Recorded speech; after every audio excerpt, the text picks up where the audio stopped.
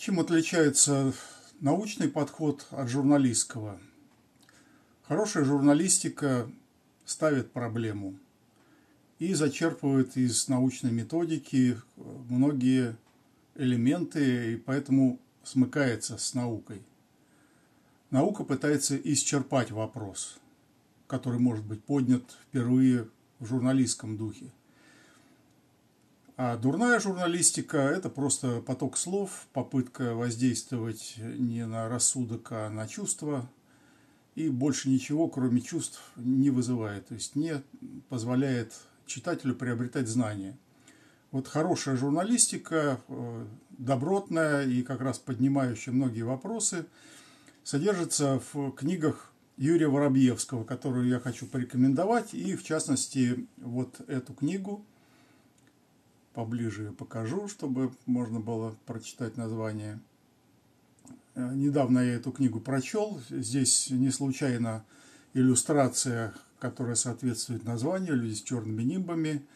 Э, есть как бы Христос и Антихрист.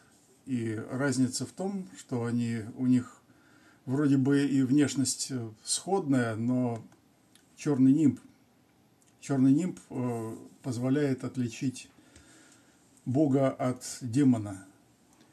И вот этому посвящена книжка в нескольких разных аспектах э, с различными отступлениями. Начинается она с э, культа Иуды, как ни странно, такой культ существовал или элементами он возникает, и возникает желание так интерпретировать священное писание, будто бы Иуда исполнил то, что ему предназначалось, и э, что он также является верным апостолом, просто ему досталась самая э, трудная участь. И вот э, такая, такой культ возникает, возникает оправдание Иуды, он уже становится как бы не персонажем, который сидит в глубине ада на коленях у Люцифера, а прямо-таки ближним апостолом Христа, который даже его затмевает, и э, некоторые такие умники начинают говорить о том, что э, вот, вот настоящий-то Мессия, вот он, вот именно он, потому что он пострадал даже еще больше, чем Христос. Э, такие умничания возникают, и они не такие уж безобидные, это не просто блуждание ума, это заводит человека к тому, что он начинает оправдывать э, все мерзости этого мира. Как будто они тоже замыслены для того, чтобы воспитывать добро, и как добро и зло ставятся на одну доску, и э, такой мирозренческий подход, конечно, убивает человека. Э, аналогом всего этого, и в этой книжке это очень так основательно описано – является, например, э, политический культ Мазепы, который возник э, далеко не вот сейчас, когда Украина преобразилась в тоталитарное неонацистское государство, а гораздо раньше, гораздо раньше, еще при большевиках, оправдание предательства является идеологической основой для большевизма, который сам весь э, является предательством и Бога, и, царя, и Отечества, и всего, э, что вообще есть в человеческой культуре э, от верности, от верности своему слову, от верности своим там, друзьям, своим соратникам и так далее. Предательство как норма. И поэтому Мазепа становился в каких, каких-то сочинениях или в каких-то убеждениях, в каких-то высказываниях становился героем, который как бы противостоит вот этому давлению э, государства Петра, давлению России, вот такие борцы за свободу. И теперь этих борцов понабрали, вот всякий мусор из истории понабрали, и это э, превратилось в э, культ украинства, то есть отречение от всего русского. Об этом также в этой, в этой книге э, подробно написано, э, какие тут еще есть. Тут поднято множество тем именно в связи вот с предательством. С предательством. Есть достаточно подробная информация и описание, жизнеописание генерала Власова, которого тоже пытаются представить как борцом с большевизмом, что вот он каким-то образом, каким-то боком примыкает к белой миграции, которая тоже пыталась использовать интервенцию гитлеровской Германии против СССР как освобождение, хотя ожидать от Гитлера и его ближайшего окружения Э, именно такой задачи, решение такой задачи было невозможно, но достаточно было просто послушать, что Гитлер говорит, э, чтобы не обманываться. И вот генерал Власов, будь-то бы специально перешел на сторону противника для того, чтобы добиваться победы над большевиками и возрождения традиционной России. Это все, конечно, риторика, слова – на самом деле самое настоящее предательство самого типичного сталинского генерала.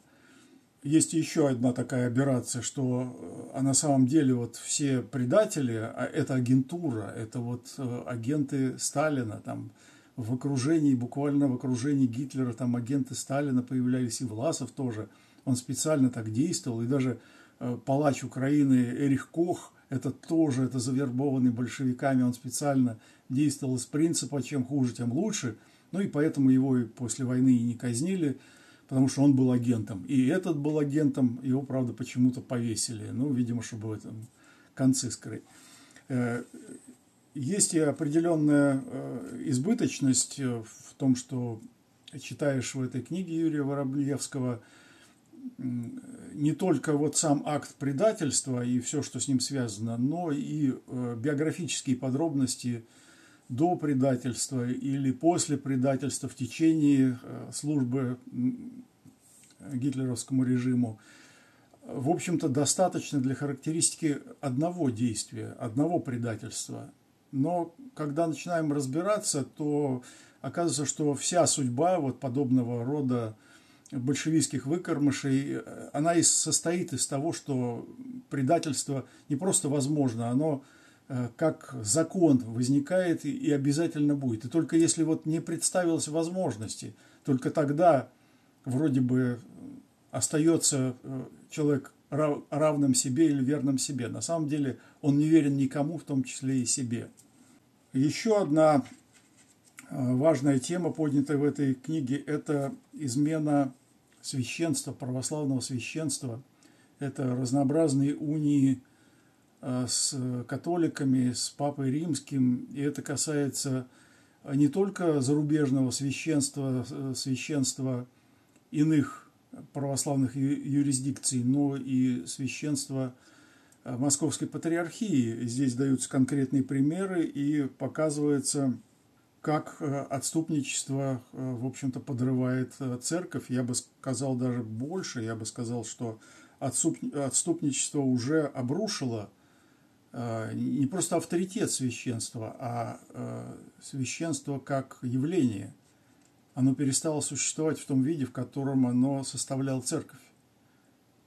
И хотя церковный народ еще существует, и вера в Бога существует, но страна и тем более озадаченная своим служением священства уже не живет по православным канонам. И э, православный догмат – это просто риторика – ну, православный должен не только говорить по-православному, но должен и жить по-православному, а этого нет.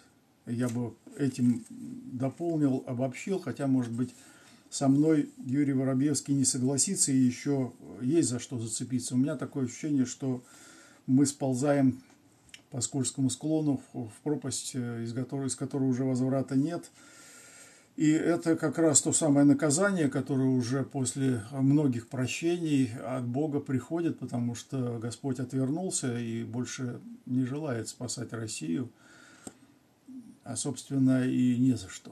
И не за что.